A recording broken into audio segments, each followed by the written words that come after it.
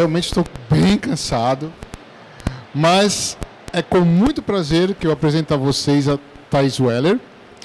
Thais Weller, ela é Weller, tá certo? Weller, tá, tá acertei. A Thais Weller, ela é uma desenvolvedora índia. Índia, olha só, meu Deus. Socorro, eu estou muito cansado. É, ela é uma desenvolvedora indie. E como vocês viram pela manhã eu apresentando o pessoal do Thorin, assim, ela também é uma das pessoas que eu admiro muito, porque ser indie nesse país é ser herói, né, Thaís? Fala a verdade, né? Ah, e até a, o tema da palestra dela, assim, é, é, bem bacana, né? Como vender seu jogo sem um rupi no bolso. Eu gostaria de uma salva de palmas para nossa querida Thaís. É com você, querida. Boa tarde a todos. Obrigada por estarem me ouvindo nesse calor, apesar de tudo. Muito obrigada. É, bom, primeiramente, eu imagino que todos vocês têm pelo menos algum interesse em desenvolvimento de jogos, porque senão vocês não iam estar aqui. Quem aqui desenvolve jogos? Ótimo. Quem quer desenvolver jogos? Excelente. Alguém aqui já está com o jogo em andamento? Ótimo. Essa é a hora certa para ouvir isso aqui. Bom, primeiramente, a maior parte das pessoas pensam: ah, vamos fazer o jogo, e é isso aí, lança, acabou, vai vender horrores, a gente vai ficar rico e vamos todos ser o próximo note. Calma. Então, tá aí, esse é vocês. Vocês acabaram de fazer o jogo. E daí vocês pensam: poxa, e agora? Vou promover o jogo. Só que daí você repara que você não tem nenhum RUP e que todas as outras formas de comunicação com o seu público custam. E custam muito caro. Não é muito acessível para um indie, por exemplo, pagar anúncio no Google. Isso, o Google ainda é uma das coisas mais fáceis para a gente conseguir, mas anúncio em revista, anúncio em TV, impossível, esqueçam. É mais fácil vocês tentarem focar no que vocês podem conseguir é, gratuitamente, que são notícias. Afinal, fazer um jogo no Brasil é difícil. Então, lançar um jogo no Brasil é notícia. Só que você precisa comunicar com a pessoa certa, da forma certa, senão a comunicação não vai adiantar de nada. Então, primeiramente, eu sou formada em jornalismo e moda, eu fiz mestrado na USP em game design e eu trabalho como game designer e esses são meus contatos, vocês também podem pegar no final da mesa. Uh, bom, vocês já ouviram falar desse jogo aqui em cima, Oniken? Alguém? Quem já ouviu? Levanta a mão. Ótimo. Uh, se vocês ouviram falar de Oniken, uma certa parte é por minha culpa. Desculpa. Uh, eu fiz a comunicação do Oniken. Aquele rapaz ali é o Danilo, ele é o principal desenvolvedor do Oniken. E mais ou menos no meio do projeto eu, eu entrei para ajudá-lo a comunicar o jogo para as outras pessoas. E o que eu vou falar aqui é baseado principalmente nessa experiência com o Oniken. Como que a gente fez e como a gente se comunicou com as pessoas para chegar no público final. Bom, primeiramente, para quem não conhece o Oniken, eu vou falar um pouquinho sobre as inspirações. Uh, o Danilo é um bocado retro gamer, então ele queria fazer algo que fosse Ninja Gaiden, mas que também lembrasse um pouco Contra, e que tivesse um pouco de Mega Man, mas também um pouco de Shatterhand e várias outras coisas. E então ele resolveu fazer um jogo 8 bits que fosse plataforma, que tivesse violência, porque os jogos do Nintendinho não podiam ter violência, Nintendo cortava tudo, e que tivesse ação frenética, mais ou menos como Contra tinha. Mesmo você usando uma espada em Oniken, a ação é contínua. Bom, daí ele optou por uma estética próxima disso, usando um pouco de Hokuto no Ken, misturando com filmes do Stallone. Uh, alguém conhece MD Geist? Ótimo. Uh, M. The Geist é um anime extremamente trash, que se vocês gostam de trash e vísceras, é uma coisa que vocês deviam ver. Eu recomendo se o seu gosto inclui isso. Bom, daí assim saiu o conceito do Zaco. Uh, ali é o Zaco no jogo, o sprite dele no jogo. Ali ele numa cutscene com mais detalhes. E esse foi o conceito que ele desenhou depois do jogo ficar pronto. E agora eu vou mostrar o trailer para quem ainda não conhece o jogo. Você pode, por favor? Obrigada.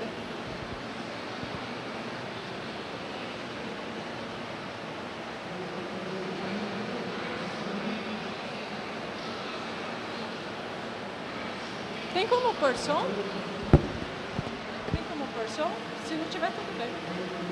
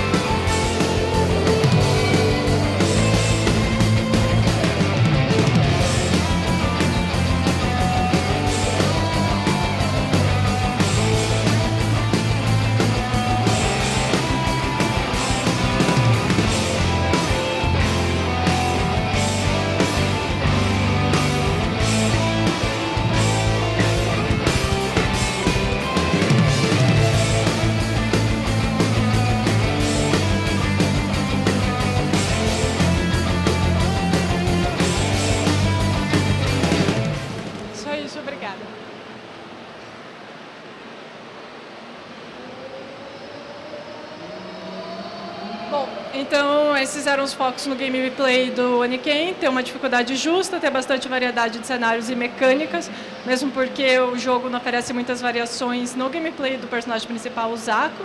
E a história ser contada pela própria mudança das fases. Então tem uma hora que ele está resgatando os rebeldes numa fase, numa base que fica no mar, e daí tem uma fase de jet ski, e depois ele vai para o gelo e tem que fugir de urso polar robô. Esse tipo de coisa que todos vocês já passaram por. Ah, então, o que eu recomendo para vocês? Desde o começo, logo que vocês começam a desenvolver o jogo, pensar numa página de acesso. O que, que é essa página de acesso? É pessoas que querem saber sobre o seu jogo, elas podem entrar lá e saber alguma, o básico do seu jogo.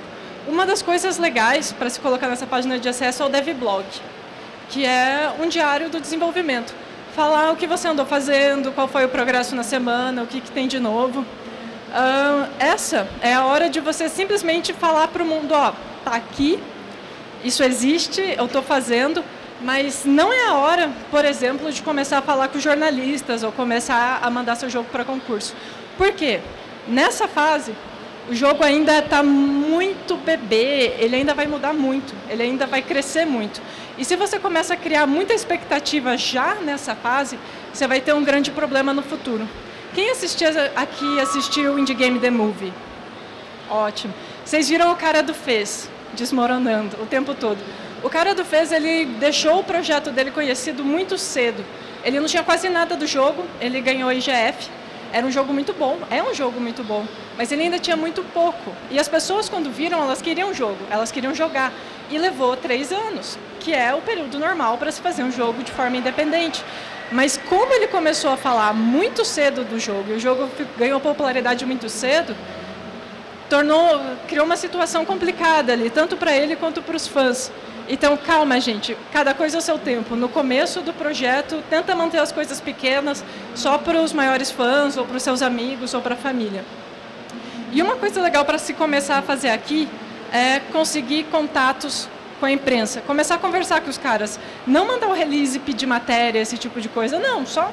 E aí, cara, conheço o seu blog, uh, da hora, legal. Demais. Ah, coisas importantes para ter na página de acesso imagens de como o jogo está ficando, de qual o progresso que você está fazendo. Toda vez no devblog que vocês forem postar algo novo, falar de um inimigo novo, de um cenário novo, postar um teaser. O ideal é não postar tudo o que você fez, mas pelo menos um pequeno teaser de como as coisas estão indo.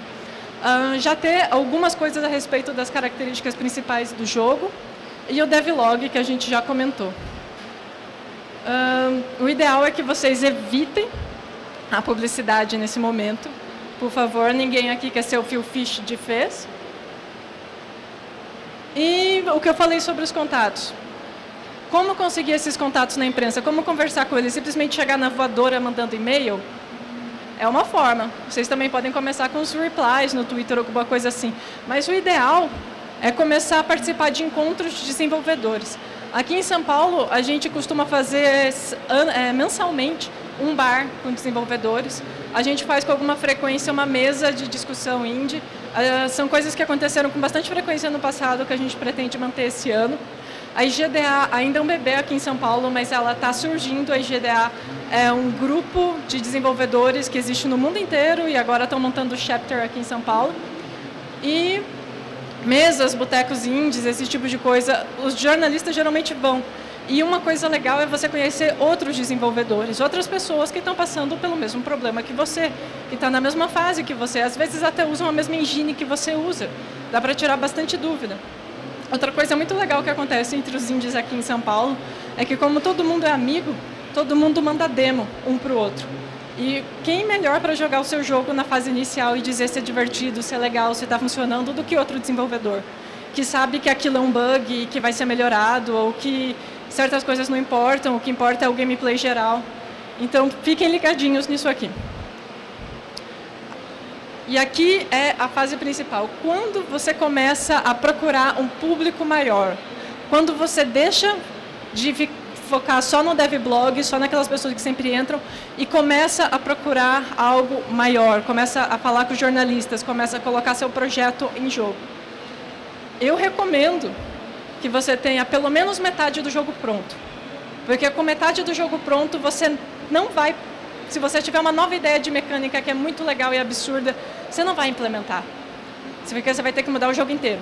Então você sabe, eu tenho metade do projeto, eu não vou mudar o gameplay principal. Uh, as mecânicas e a estética já estão bem definidas. Você não vai simplesmente do nada surtei, não quero mais fazer um jogo 8 bits, quero fazer 3D em HD e eu quero que eu usar a, sei lá, a CryGene e fazer com HDR e tudo mais. Não com metade do projeto pronto, vai ser difícil esse tipo de mudança. Uh, é legal você ter um demo do jogo. Quando eu digo demo, não precisa colocar o jogo, a metade do jogo que você já fez. São algumas fases. Quando a gente lançou o demo do Oniken, a gente deixou as duas primeiras missões grátis. O jogo tem seis, tinha seis missões quando foi lançado, então duas missões era um terço é um, uma boa quantidade de gameplay para o jogador entender como funciona o jogo, saber como ele funciona, ver se ele gosta ou não. Um, e é essa hora que você precisa de um trailer. Por quê? Porque vamos supor que um jornalista da Kotaku se interessa pra caramba no jogo de vocês e quer falar sobre e quer mostrar o jogo. Cara, ele não vai sair ripando imagens do seu jogo e colocar no artigo ele quer pôr um trailer. Ele não vai fazer o seu trailer. Simples. Ele não vai. Ele pode até evitar de dar matéria se você não tiver pelo menos uh, vídeo de gameplay. Quando a gente lançou o Oniken, a gente resolveu fazer alguns patches extras adicionando coisas. Uma das coisas que a gente adicionou foi uma fase extra e outra coisa que a gente adicionou foi a versão de Mac e Linux. Eu resolvi fazer um teste. Vamos, são duas coisas super importantes, são duas coisas super legais que são notícia. Vamos fazer um teste. Em uma a gente vai pôr um trailer, em outra não. A gente não colocou o trailer no, na versão de Mac Linux e colocou um trailer para fase extra. A versão de Mac Linux rendeu, sei lá, 10 notícias. A versão do. A, a notícia da, da missão extra, 100. Tem muito mais impacto. As pessoas querem escrever sobre se elas podem usar imagens ou vídeos bonitos que ilustrem o que você está falando. Então, sempre tenha vídeos de gameplay e montar um trailer legal é muito, muito importante. Então, aqui é hora de começar a falar do seu jogo para as pessoas. Você já está com ele metade pronto, vamos falar sobre ele. O que é legal fazer aqui? Conversar com aqueles jornalistas, com aqueles outros desenvolvedores que você conhece e perguntar para eles: ó, oh, quer jogar? Olha aqui meu demo testa meu demo, vê o que, que você acha, você acha que dá matéria, tenta. Começa com os blogs, os blogs menores eles são sempre mais abertos para esse tipo de matéria. As pessoas são muito legais, mesmo os jornalistas da, das, dos grandes meios são muito legais aqui no Brasil. Só que para eles é difícil porque tem muito garoto de seis anos que acabou de fazer um jogo na RPG Maker e quer falar com eles e quer colocar o jogo na Kotaku. Não é fácil selecionar para eles também. Então, ter um bom demo, ter o trailer, chega e fala, olha, cara, testa, fala, vê o que, que você acha, o que, que você acha, o que, que você, a gente pode mudar. Isso é uma coisa muito legal porque os jornalistas são seus amigos. Tem alguns desenvolvedores parece que acham que jornalistas são pessoas horríveis que só querem tirar o sangue deles e tal. E não é assim, o cara só está fazendo o trabalho dele. Ele quer falar do que é importante. E se ele não acha seu jogo importante, ele não vai falar a respeito. Então faça o possível para mostrar que é legal. Nessa época, é legal você se aproximar de um jornalista ou de um meio de cada vez. Não mandar para todos, não mandar de uma vez. Um artigo aqui, outro ali. Isso é interessante porque as pessoas, o público geral, está conhecendo o seu jogo. Se você só saturar uh, os meios de comunicação com o seu jogo, ele, essa notícia logo vai ficar velha e você só vai poder mandar a notícia de novo quando você tiver algo muito grande, novo, a respeito sobre o jogo porque possivelmente vai ser um lançamento. Então vai passar esse tempão sem notícia a respeito dele. Um, e isso é muito legal porque mantém a memória dos jogadores fresca a respeito do jogo. Quando a gente entrou, deixou as pessoas realmente conhecerem Oniken, foi quando saiu uma matéria no indiegames.com, que é um site muito bom para jogos indies e para pessoas que estão começando, eles são muito abertos. Saiu uma matéria lá e uma no Kotaku Brasil. E a partir daí foi saindo uma matéria grande por mês. E foi ideal, porque as pessoas começaram a conhecer e ao mesmo tempo sempre tinha alguma coisa nova para eles se manterem interessados. Bom, vocês começaram a desenvolver o jogo, vocês começaram a fazer o jogo, chegou na metade, começou a fazer as pessoas uh, entenderem seu jogo, conhecerem seu jogo. Parabéns, isso não é fácil, parabéns mesmo. E agora chegou o grande dia e agora vocês vão lançar o jogo. Poxa, eu taco ele na loja e espero ele vender e é isso? Não. O lançamento é uma fase crítica do jogo. Eu sei que muita gente vai falar para vocês, não, nosso mercado é digital, não tem nada a ver o dia do lançamento mais, não importa o dia do lançamento, as pessoas compram quando elas querem. Não funciona assim dia do lançamento ainda é muito importante. É claro que não é tão importante como era na mídia física, mas é muito importante você se preparar para esse dia. Uh, aqui uma coisa interessante é sim contatar todos os meios de comunicação ao mesmo tempo. Mandar e-mail para todos eles, conversar com todos eles, porque você quer que a mídia fique saturada a respeito do seu jogo. Afinal, você acabou de lançar. Você quer que as pessoas vão lá e comprem. As pessoas, quando elas estão na internet, elas são muito do momento. Se você deixar a internet saturada a respeito do seu jogo antes do lançamento e as pessoas forem atrás do seu jogo e elas não podem comprar, elas vão esquecer. E quando ele estiver disponível, elas não vão voltar para comprar. Então, o ideal é planejar muito bem isso aqui. Vocês que estão desenvolvendo o jogo, já pensaram em canais de distribuição? Alguém já, já pensou mobile, Steam, Desura, o que, que você pensa em usar? Web. É, mas qual, qual meio de comunicação? Você vai usar o Congregate? Vai usar... Você vai lançar no Facebook. Perfeito. Colocar o jogo numa rede social, isso é legal. Mas você também precisa pensar em como que as pessoas vão chegar no seu jogo inicialmente. Uh, os canais de distribuição são muito legais porque eles colocam as pessoas em contato com o seu jogo. Daí todo mundo pensa, ah, eu quero Steam. Óbvio. Quem não quer Steam? Minha mãe quer o Steam. Minha mãe fica ligando, perguntando como é que o nosso jogo está no Greenlight. Ela não sabe o que, que é, mas ela pergunta. Mas pouca gente chega lá. O importante é você pensar no que você pode ter no dia do lançamento. E sem publisher, o Steam é uma coisa meio difícil de se ter no dia do lançamento. Bom, outras formas de lançar um jogo para PC que seja executável são o Desura, o Indie o Indivania. Um, você pode usar redes sociais como Facebook ou o Orkut. Eu não sei se alguém aqui ainda desenvolve para Orkut, já, já passou a época, né? E você pode usar a, as ferramentas de distribuição de jogo web, tipo Congregate, Armor Games, que são formas interessantes. O problema é que todos eles, com exceção do Steam, todos eles não tem tanto forma de levar o seu usuário até o seu jogo. O Steam é fabuloso porque ele tem as sales e tem aqueles jogos que estão sempre em destaque na página principal. Então o jogo quase que vende sozinho. Você quase não tem que fazer nada. Mas todas as outras formas, todos os outros canais de distribuição, cada venda que você faz, cada acesso que você recebe, é basicamente um mérito seu. Você tem que levar o jogador até lá pela mão e falar, cara, tá aqui, ó, compra, joga, vê o que, que você acha. Então você precisa pensar nas estratégias que você vai fazer isso.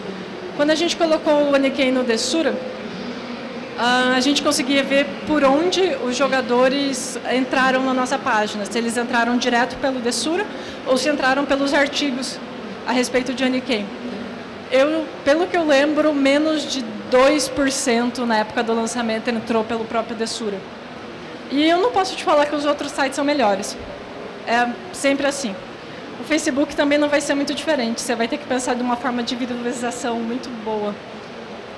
Bom, já temos em mente, então, o canal de distribuição. Isso é um exemplo de landing page que agora é uma boa hora de dar uma up na sua landing page. Lembra da, da página de entrada? Que tinha que ter as imagens do seu jogo, que tinha que falar do gameplay, que vocês montaram lá no começo? Agora é hora de deixá-la melhor. Tentar deixá-la o mais visual, bonita possível e colocar sempre links para deixar o mais fácil para o jogador conseguir o que ele quer. Então aqui na página da Oniken a gente tem um botão para ele baixar o demo, que é um download grátis. A gente tem logo do lado um botão para comprar, que já leva direto para o botão de compra. E a gente tem ainda do lado um botãozinho escrito Press Kit, que é uma coisa muito importante para a imprensa que a gente vai falar agora, ou já já. Uh, um pouco antes do lançamento, é importante que alguém do grupo de vocês junte a lista de contatos que vocês têm na imprensa e dê uma atualizada nela. O que a gente fez no Oniken é separar a imprensa por internacional e nacional, porque a gente tinha material diferente para cada um. Então daí vocês também têm que pensar em quando que vocês vão anunciar o jogo e como. Isso é essencial. No Oniken a gente resolveu lançar, anunciar uma semana antes. Então, uma semana antes do lançamento a gente ia falar, bum, Oniken vai sair daqui uma semana, compre. E junto com esse lançamento a gente lançou um vídeo novo, que foi aqueles que vocês viram, porque sem o vídeo, adeus matérias. Vocês têm que colocar o trailer, que inclusive está em negrito aí, bem forte, trailer, um trailer muito bom. Se vocês puderem gastar um pouquinho de dinheiro com alguém muito bom para fazer um trailer, gastem. Se vocês não têm esse dinheiro, tudo bem, mas deixa uma pessoa da equipe um mês antes treinando como fazer edição de vídeo e como melhorar isso. Repaginar a, a página de acesso e o press kit. O que, que é essa maravilhosa palavra press kit que eu estou repetindo e ninguém lembra exatamente o que, que é? Bom, press kit é o que vocês vão mandar para a imprensa seja jornalista de blog, seja jornalista de site famoso, seja jornalista de revista, qualquer cara que pode falar do seu jogo em algum meio de comunicação vai receber um press kit. No press kit a gente tem um release, que a gente já vai falar sobre ele, mas é um texto que explica qual é a notícia. A gente tem print screens do jogo, porque como a gente falou, jornalista não vai ficar pausando e escolhendo as melhores partes do seu jogo para tirar foto. Então, o ideal é que você escolha isso para ele, coloque umas 5, no máximo 10 imagens e fale: essas são as melhores, por favor, use na, minha, na sua matéria. Logos e fotos dos desenvolvedores, isso é opcional, mas é algo muito interessante para ter. O logo da, do grupo de vocês, o logo do jogo de vocês, a foto dos desenvolvedores e qualquer outro arquivo que pode ser importante. Então, por exemplo, vocês estão liberando antes a soundtrack do jogo. Vocês podem colocar no press kit. Vocês estão tem uma pequena música, um pequeno trecho de som que é muito importante para entender o jogo. Coloca no press kit. Tudo que é importante para o jogo pro, e para o jornalista entender o contexto do jogo, coloca aqui. Esse é o nosso press kit Oniken, exatamente como estão as pastas. A, a primeira pasta são das artworks, são as imagens, as artes conceituais que o Danilo fez do jogo. A segunda são as fotos dos desenvolvedores. A terceira são os logos, tanto do jogo quanto da Joy Masher, que é o nosso grupo. E ali a gente tem as print screens do gameplay, que tem tanto gameplay quanto cutscenes. E por último, release em PDF. É muito bom ser em PDF porque você nunca sabe o sistema operacional que o cara tem. Essas são as imagens, as print screens que a gente usou em Oniken. Vocês estão vendo que tem sempre duas de cada? é que a gente sempre fez duas versões da mesma imagem, em dois tamanhos diferentes. Para caso o cara precise de uma imagem pequena ou de uma imagem grande, já esteja pronto, ele não tenha que ter trabalho para fazer isso, senão ele pode desistir de pôr, se ele tiver que diminuir ou aumentar a imagem. Então, para você, é um trabalho pequeno para a divulgação que você pode ganhar com isso. Bom, sobre o release, basicamente ele fala o que é notícia. O que é notícia para o jornalista? O que, que é novo? O que está acontecendo que ele pode falar e falar, galera, isso é novo.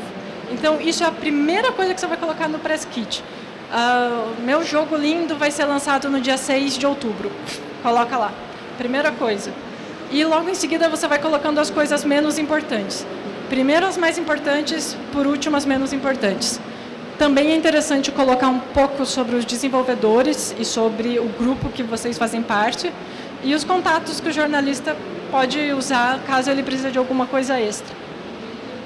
Bom, esse é o nosso release, não dá para ler, então eu copiei o texto para vocês terem uma ideia.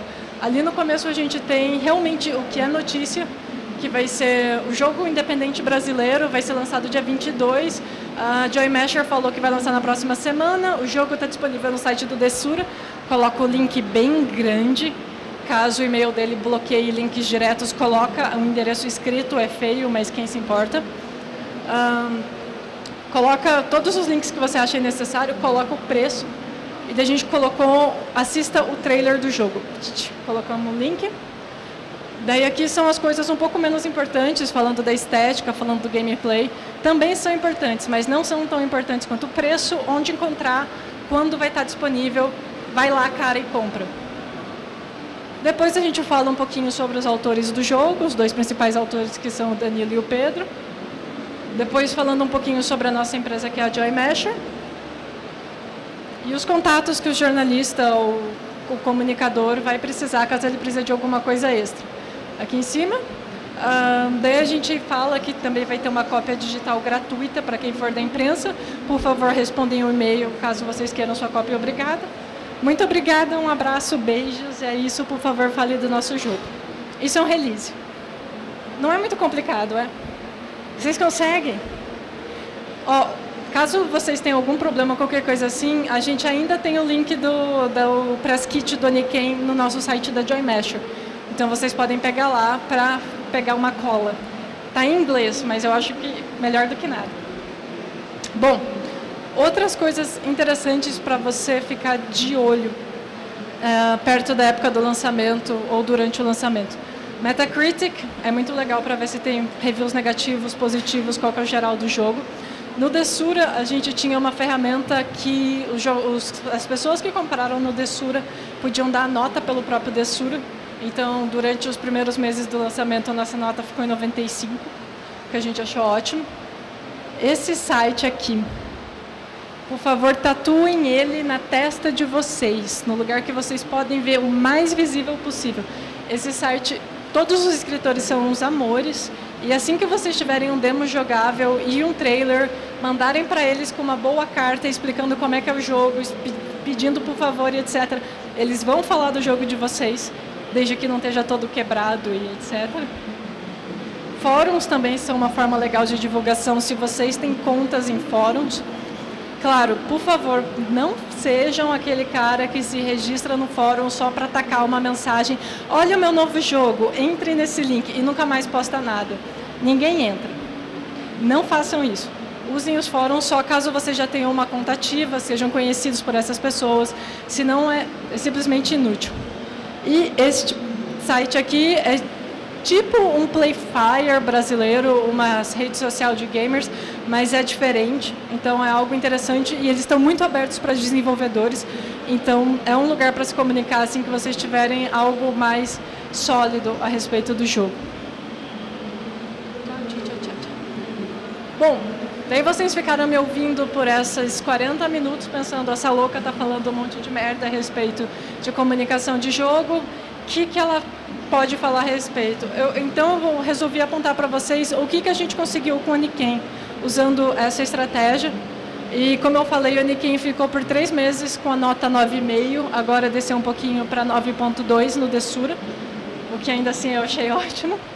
Um, a gente teve uma boa recepção na imprensa, a gente conseguiu até um review no Destrutoid. A gente foi mencionado pela Kotaku americana, pela Kotaku brasileira, pela Kotaku japonesa, até pela japonesa, minha gente. Não existe PC Gaming lá. Uh, a gente ganhou o prêmio de melhor jogo no Game Music Brasil e melhor jogo brasileiro da UOL Jogos. E a gente vendeu mais de 14 mil jogos. É, eu gostaria de frisar que esses 14 mil não foram todos retail, todos pelo preço total. A gente participou de vários bundles também, que é uma coisa que eu incentivo muito que vocês participem, porque por mais que você ganhe bem menos por cópia vendida, o seu jogo se torna muito mais conhecido e isso é uma coisa legal. Porque quanto mais pessoas jogando o jogo de vocês, melhor, não é? E é isso. Muito obrigada pelo tempo de vocês. Esse é o, a, o nosso grupo de iMesher, esses são os nossos contatos. E caso vocês queiram esse material da palestra, eu coloquei o PDF nesse link. Então vocês podem pegar. Obrigada. Sim, sim, por favor.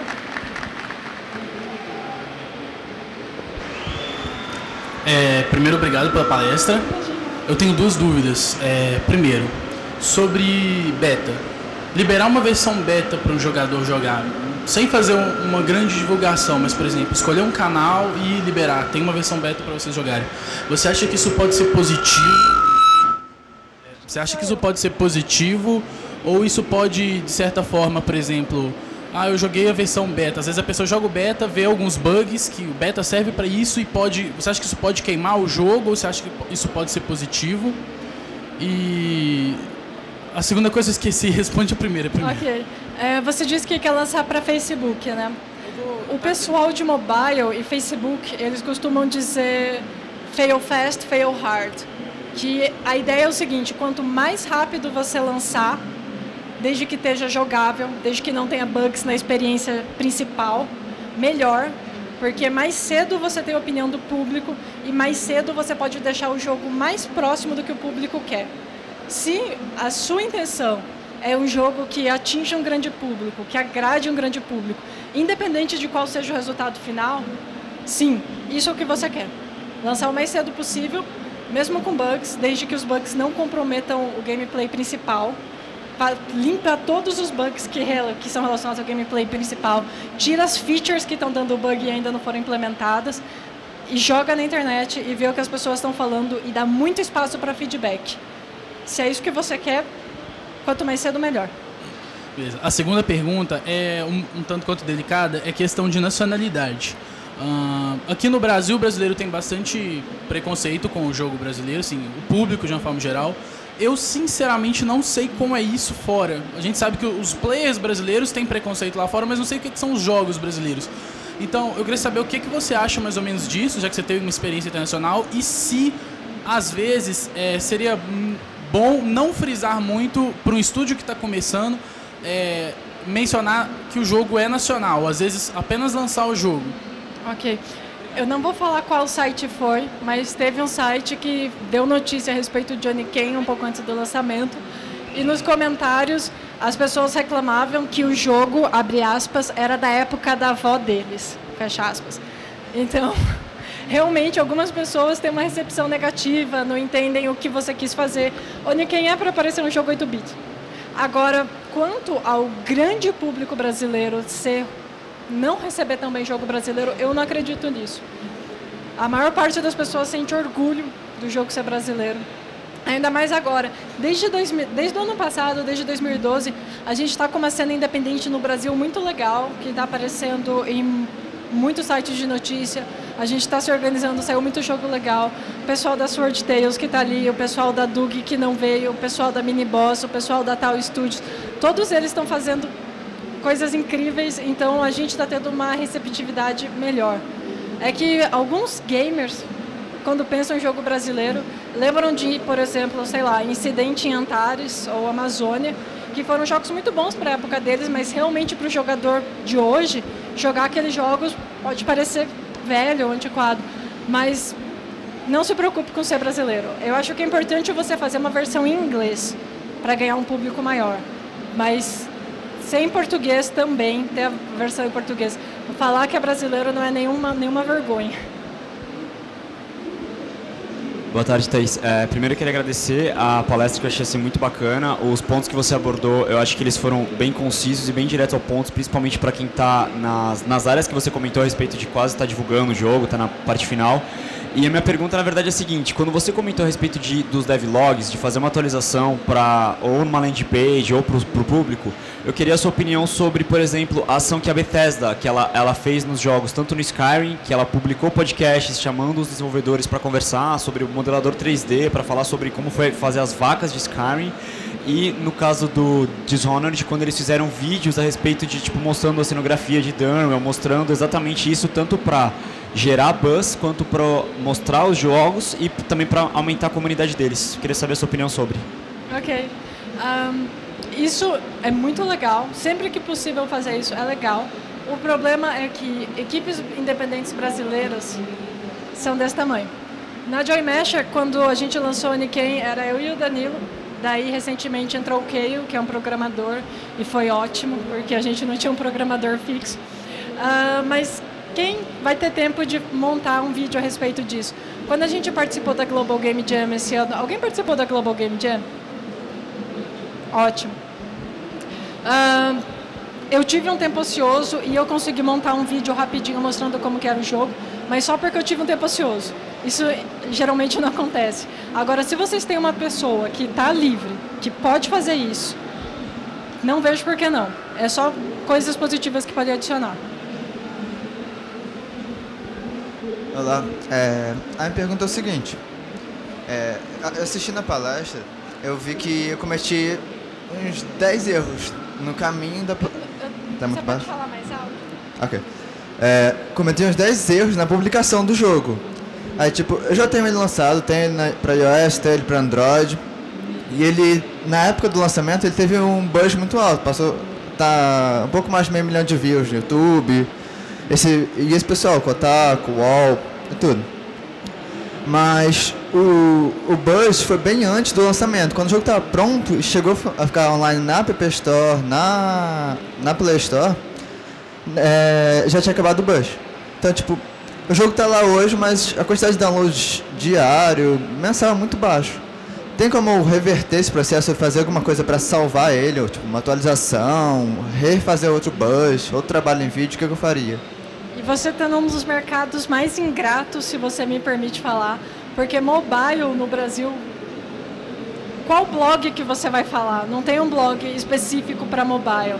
Os, os uh, grandes sites de jogos às vezes torcem o nariz para jogo mobile. Então, se você conseguiu um buzz no começo, isso é muito legal. Mas é que nem você disse, em mobile você também não tem como fazer pré-venda. Então, conseguir esse buzz antes do lançamento não é tão legal.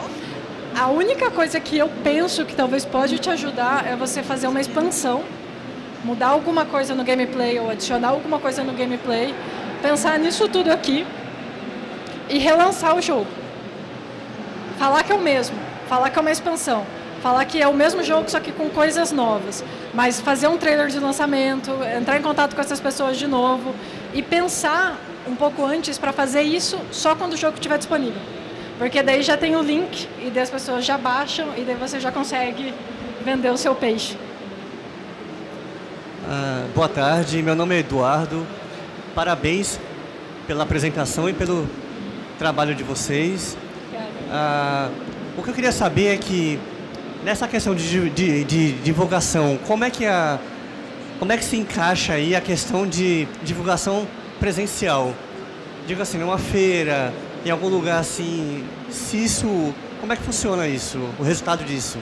Sempre que possível é muito importante.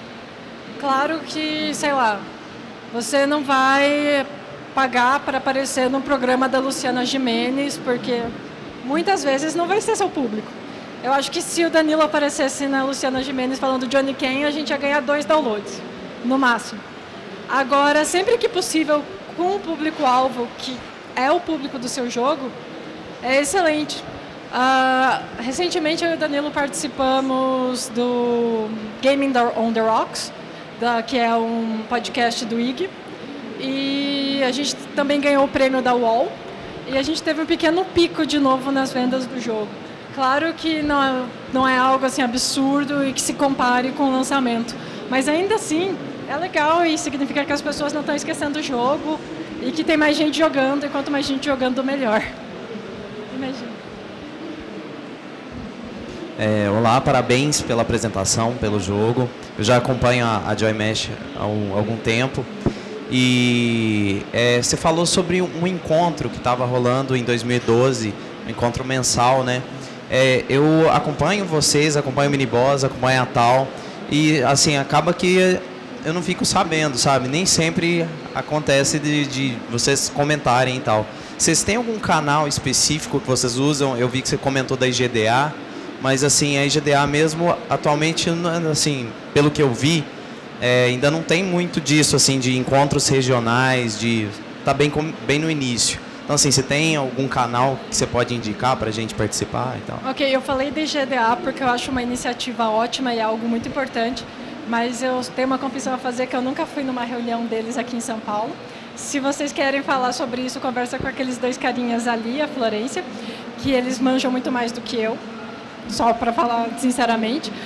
Você conhece um grupo no Facebook chamado Boteco Gamer? Me procurem no Facebook que eu posso colocar vocês num grupo. Inicialmente era um grupo apenas para desenvolvedores de jogos, e daí foi expandido e hoje a gente tem jogadores jornalistas e pessoas da indústria como um todo. E toda vez que a gente organiza um evento de bar aqui em São Paulo, a gente posta lá. Então é um lugar pra, que é legal para acompanhar para isso. Por enquanto a gente está organizando só em São Paulo. Eu morava aqui em São Paulo até ano passado e agora a gente se mudou para o Paraná, então a gente vai tentar organizar em São Paulo e em Curitiba ao mesmo tempo. Como? Eu acho muito interessante participar para todos que podem vir para São Paulo, porque é uma noite só por mês, é um dia. A gente se encontra num bar, um boteco, geralmente um boteco fuleira. Então ninguém vai lá só para beber ou só para comer. A gente vai lá para conversar. A última vez foram mais de 60 pessoas, todos da indústria, todos ou desenvolvedores, ou jornalistas, ou advogados da área. E todo mundo conversando sobre o jogo. Foi assim lindo. Eu, eu quase chorei assim. Tanta gente falando sobre coisa legal, ao mesmo tempo num lugar que não tem nada a ver com o jogo. Mas eu acho que é interessante para conhecer pessoas que fazem a mesma coisa que você. É, parabéns pela apresentação. Obrigada. Mesmo para mim que não sou desenvolvedor, é, foi muito útil essas dicas de como abordar a imprensa. E eu fiquei curioso porque você não falou de dos Humble Bundles da vida. Do quê? Humble Bundle. É muito legal. É tudo que eu posso te falar. Uh, eu, eu não posso falar de margens de lucro e tudo mais, mas a divulgação que dá no jogo é muito interessante. Foi muito legal que a gente participou do Indie Royale, que é um dos maiores bundles depois do Humble Bundle e do Gala Bundle. E foi um pouco depois do lançamento, tinha um mês e meio mais ou menos. E não só as vendas, que foi tipo absurdo, foi mais do que no lançamento, bem mais do que no lançamento, mas também na repercussão, porque você atinge um público que inicialmente nem sabia do seu jogo, que ganhou ele de graça e que jogou e achou legal. Então você começa a acompanhar no Twitter e você vê muita gente falando do seu jogo. É, é legal pra caramba. Sempre que possível, participem. Vocês vão ganhar pouco em relação ao que vocês ganhariam normalmente, mas a repercussão é sempre muito legal e vale muito a pena ver mais gente jogando seu jogo. É, eu gostaria de saber se é interessante perguntar para o público se é, ideias para o jogo ou fazer alguma enquete, sei lá, para que eles possam dar ideias para melhorar o jogo, ou se é melhor deixar algo mais fechado e original para os, é, para os desenvolvedores? Essa é uma pergunta difícil porque não tem resposta para ela. Depende do que você quer para o jogo. Uh, no Oniken a gente teve pouco espaço para o público, bem pouco espaço. Mas ainda assim, às vezes a gente fazia uma enquete: qual cor ficou mais legal nesse fundo? Quatro opções. E às vezes ganhava uma que eu tinha odiado, mas o Danilo gostou, então tudo bem. Uh, isso é legal porque as pessoas acabam se inter, elas interagem mais com o jogo, elas começam a gostar mais do jogo. Tanto que te, é, é, muito engraçado isso, porque tem alguns amigos nossos que são da imprensa que jogam o jogo desde os primeiros betas, dos primeiros demos, e toda vez que a gente colocava uma fase nova, a gente mandava para eles, eles davam retorno, eles falavam que, que, que eles achavam que tinha que mudar e tal. E que os caras gostaram tanto do jogo depois que eles nem quiseram fazer um review porque eles acharam que eles iam puxar o saco demais. Só que daí eles chamaram outras pessoas para fazer o review e foi muito legal. Então, depende. Se você quer fazer um jogo para agradar muita gente, quanto mais opinião, melhor. Se você quer fazer, sei lá, o próximo City View, próximo Farm View, quanto mais opinião, melhor e você não quer um jogo autoral. Da mesma forma que se você está fazendo, sei lá, Vamos, próximo braid. Você não quer nenhuma opinião. Você quer fazer o que você acha o ideal. Eu, particularmente, acho que é melhor o modelo misto. Você escuta a opinião de pessoas que você acha que tem uma opinião confiável e você muda o que você acha que realmente faz sentido. O resto do jogo é seu, enfim.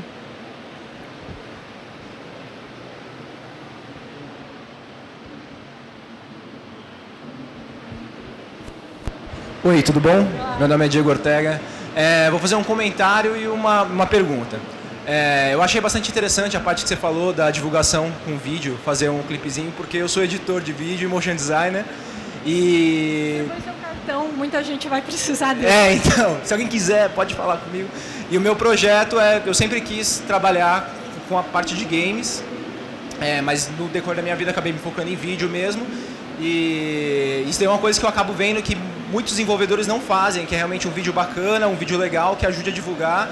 Isso daí acaba até desestimulando um pouco na hora de você baixar o jogo, porque às vezes você só vê uma imagem, vê alguma coisa, mas você não vê o gameplay, não vê uma apresentação legal, então você acaba até broxando de querer fazer alguma coisa. É... E a minha pergunta é crowdfunding. É... Você acha interessante como um processo de até de divulgação? Ou você acha que é meio perda de tempo? O que, que você acha?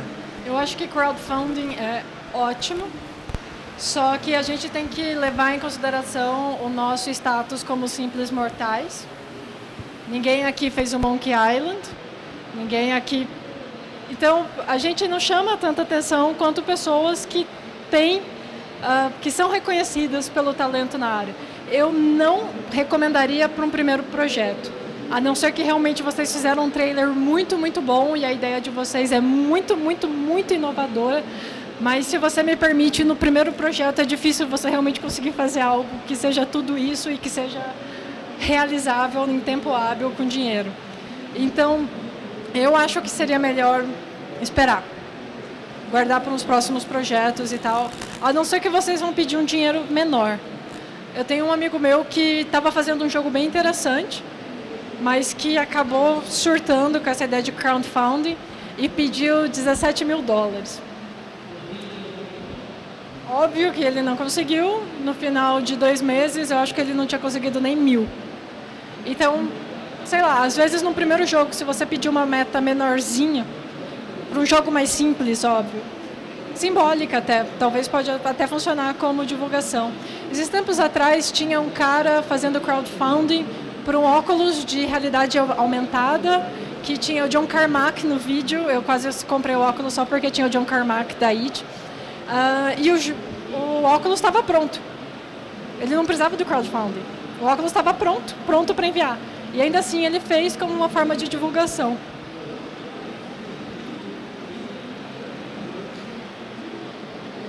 Só que hoje em dia, hoje em dia, há um ano atrás, você fazer isso só para o crowdfunding, só para divulgação, uau, é um crowdfunding de jogo, gente, olha só, vamos falar sobre. Hoje tem tanto crowdfunding de jogo que eu já não sei se isso cola como notícia. Você pode tentar e fazer um post-mortem e vai ser demais e eu com certeza vou ler, mas eu não tenho uma resposta pronta sobre isso. Imagina.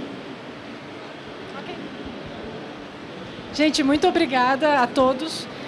E fiquem para mais tarde que vai ter uma mesa indie já já, que vai ser da hora.